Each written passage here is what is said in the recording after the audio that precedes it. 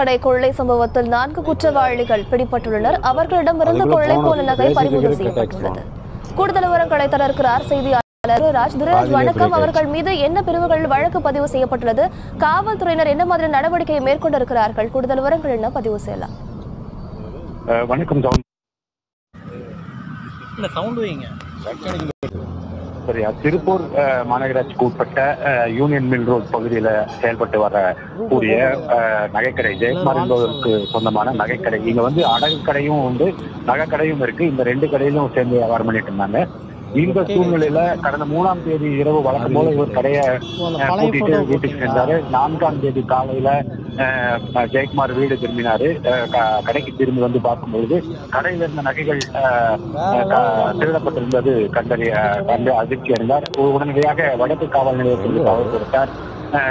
இது குறித்து தகவல் இருந்த போலீசார் சம்பவ இடத்திற்கு வந்து மோப்பநாய் உதவியிடம் பல்வேறு விசாரணைகளை மேற்கொண்டனர். இதனிடையே சிசிடிவி காட்சிகளை வைத்து குற்றவாளிகளை தேடும் பணியை ஈடுபட்டனர். இந்த சூழ்நிலையில் நாலு பேர் கொண்ட ஒரு கும்பல் வந்து அந்த கடையிலிருந்து மற்றும் பணத்தை கொள்ளையடித்துக் கொண்டு மூட்டையை மூட்டை மூட்டையாக மூட்டையை கட்டி தலையில வச்சு கொண்டு ரயில்ல ஏறின ஒரு வீடியோ பதிவு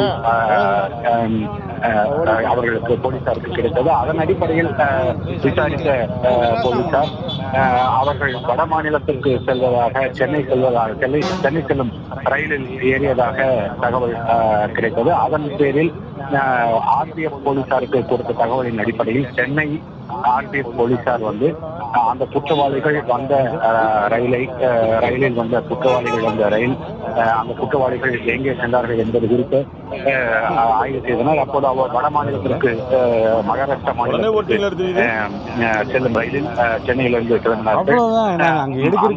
அதாவது அந்த ரயிலில் போயிருந்த போய் கொண்டிருந்த நான்கு குற்றவாளிகளையும் ஆர்பிஎஃப் போலீசார் மடக்கி பிடித்து விசாரித்தனர். ஹலோ. திருப்பூர் நகை